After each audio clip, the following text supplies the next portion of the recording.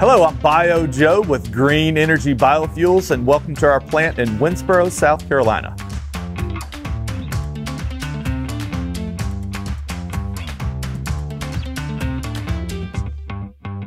What we do here at Green Energy Biofuels is we recycle waste vegetable oil from restaurants and food service companies. We refine that oil to remove all the impurities and then we use that as a feedstock in order to make biodiesel that can run in any diesel engine without any modifications at all. The importance of compressed air at Green Energy Biofuels is huge. In simple terms, if we don't have compressed air, we can't run the plant. We run a product that is a flammable fuel, and by using compressed air, we have a very safe, efficient means for transferring from station to station in our process to make our biodiesel.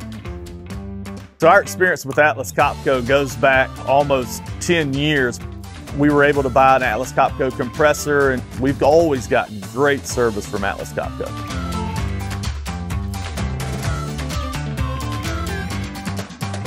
Having clean, dry air at our facility makes a huge impact on our daily productivity because we're not fixing equipment, we're making product.